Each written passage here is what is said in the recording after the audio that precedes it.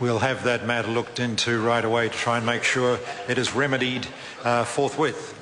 The House now comes to questions for oral answer, and the first question stands in the name of Louise Upston. Thank you, Mr. Speaker. My question is to the Minister of Finance and asks What reports has he received on the economy? The Honourable Bill English. Mr. Speaker, this morning the Reserve Bank issued its monetary policy statement for December. It confirmed that the official cash rate has remained unchanged at 2.5%, uh, supported by the government's fiscal policy and reducing offshore financing costs. This will help keep New Zealanders' interest rates lower for longer. A family with a $200,000 floating rate mortgage is now paying $200 a week less in interest costs than they were four years ago. A significant saving in difficult times that is enabling them to further reduce their debt. The monetary policy statement today presented a similar overall economic outlook to the previous statement in September. The outlook is slightly weaker in the near term, but activity is expected to be stronger in 2014 15. Louise Upston. What does the Reserve Bank say about the cost of living and forecasts for the consumer price inflation? The Honourable Bill English. Mr Speaker, uh, current CPI inflation is at 0.8% uh, which is the lowest it has been in nearly 13 years. The Reserve Bank expects inflation to remain comfortably within the target band. That is good news for families who are trying to save and get ahead.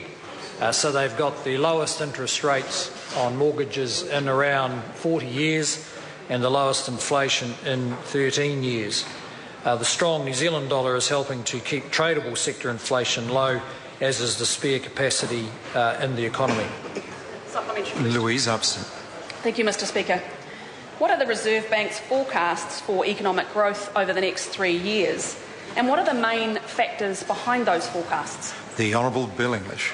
Speaker, the bank projects uh, annual real GDP growth of 2.2%, 2.8%, and 2.9%, respectively, over the next three years. The forecasts are a little weaker in the short term, but higher over the next over year two and year three. Uh, this is consistent with um, the recent history of the economy ticking along at growth rates of around two or three percent. The bank noted four key factors influencing the outlook: the Canterbury rebuild, uh, global economic activity, and inflation are expected to remain subdued.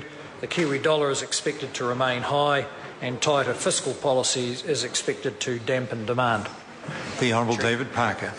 Given today's news that the Reserve Bank Governor is negotiating the use of macro-prudential tools like loan to valuation ratios, does he now admit for the last four years he was wrong in saying that our monetary policy required no change because it was already world's best practice?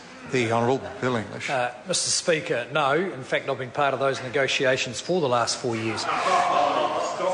Louise Upston. What impact has the uncertain global economic situation had on the Reserve Bank's outlook for the economy? The Honourable Bill English. Uh, well, Mr Speaker, it continues to have a significant bearing on the outlook for New Zealand and I think at times on confidence in New Zealand. The euro area remains in recession. Uh, growth prospects uh, seem to be improving in the US and China, uh, but the international economy continues to weigh on our prospects. Uh, it would certainly be helpful for everybody if the US uh, was able to resolve its current issues around its fiscal deficit, its fiscal policy, uh, and its debt ceiling. if that, that occurred, the US economy may do better next year than expected, and as the world's largest economy, that would certainly help us.